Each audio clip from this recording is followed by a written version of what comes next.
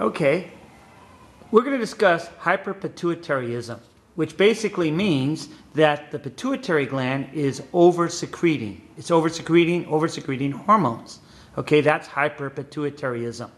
Now, uh, one common factor in hyperpituitaryism is the presence of adenomas, which means a pituitary tumor.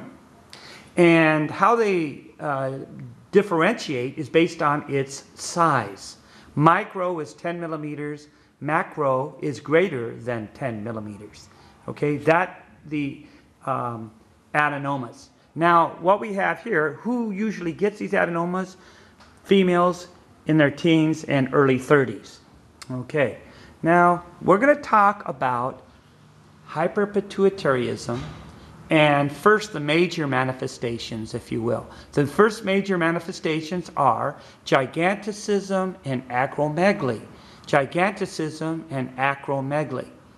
Uh, well, giganticism is when the uh, a teen or a youth ends up growing as much as uh, eight feet. It is massive growth. And acromegaly is when it occurs in the adult.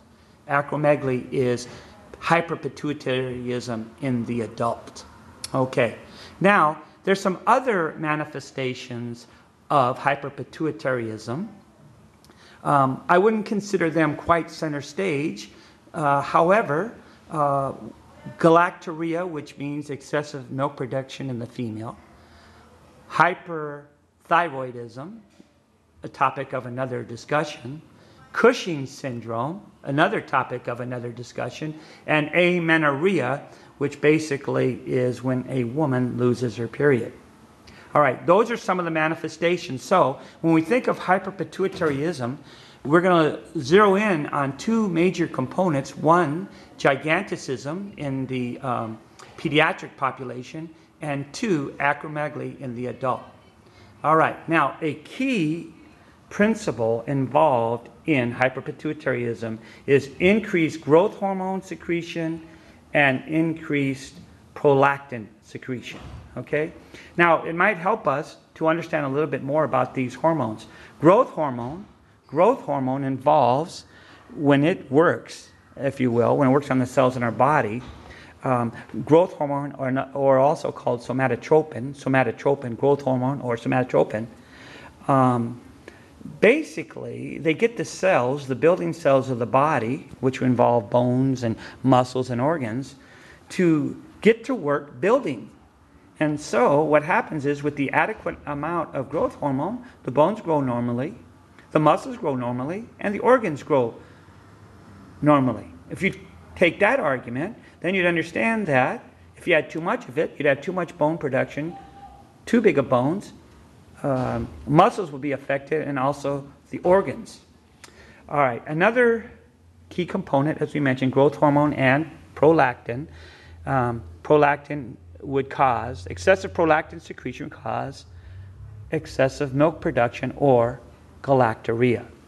Okay, now what I'd like to look at here is what takes center stage.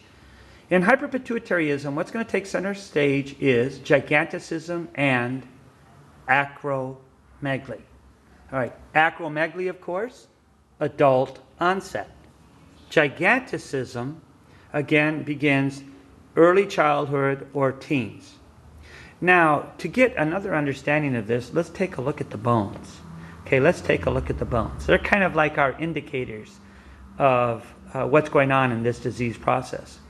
Now, as you remember the bone, uh, the normal bone has the long part called the diaphysis and the end parts called the epiphysis. And this, overly simplified of course, but this is the epiphyseal plate or growth plate. It's on both sides. And what this does, it works like stretch pants in a way. This gives the opportunity for the bone to, the diaphysis to grow. And let's pretend that this is a normal bone. However, if a person has giganticism and they have oversecretion of growth hormone, look what can happen to the bone. Extra what? Extra long, extra long. So that's the way the growth will go. And these individuals who have giganticism can end up being greater than eight feet tall and um, over 300 pounds. Now, some other problems with this giganticism, we have to know, looking uh, fast forward, there are some comorbidities. Patient has a short lifespan. Uh, they won't re, they won't live a full life, uh, by and large. Okay, now let's take a look at acromegaly, the adult component of oversecretion. Oversecretion, and in this case, in the adult onset, what we have here are there's a normal bone, and in the adult, you know that the growth plates are closed. You've reached full growth. However, with the overabundance of growth hormone, the bones are going to grow, but they can't grow longitudinally. So what are they going to do? Wider and thicker. All right. Some other concerns um, uh, that will happen with um, hyperpituitarism. A little bit similar, but uh, first we have excessive growth hormone. Let's take a look at the domino effects that can occur. Uh, you remember lipids are fats in the body, and um, they're supposed to be broken down in a methodical manner and at the right time. However, what happens in hyperpituitaryism, too, uh, too much growth hormone causes the overabundance of fatty acids, and the fatty acids have a systemic effect. They affect the whole body. And in cardiovascular, well, we're talking about coronary artery disease, or we're talking about a stroke, cerebral vascular accident, or PVD, peripheral vascular disease. You say, well, what's going on here? Well, fatty acids, as you know, an overabundance of them can cause atherosclerosis.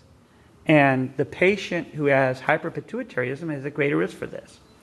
Let's take a look also about the blood sugar levels. We know that diabetes mellitus is on the rise in today's world.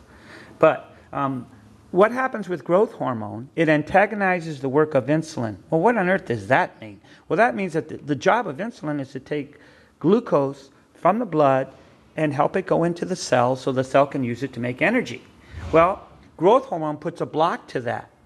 So if it puts a block to having the glucose end up in the cell, where's it going to remain? In the blood, and the patient can have hyperglycemia. In some cases, they may even get diabetes mellitus. Okay, some other concerns here about prolactinemia. Remember, we said um, in hyperpituitarism, too much prolactin, too much uh, growth hormone. In this case, with too much prolactin, what's going to happen here is in the female, um, in the female, she can have amenorrhea, lose her period, galactorrhea, secretion of milk sugar, and then um, decreased vaginal lubrication. In the male, decreased libido, libido, excuse me, and impotence. Let's take a look and finish this component up with the signs and symptoms.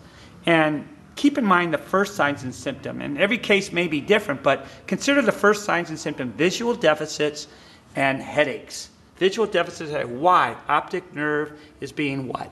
Compressed. The optic nerve is being what?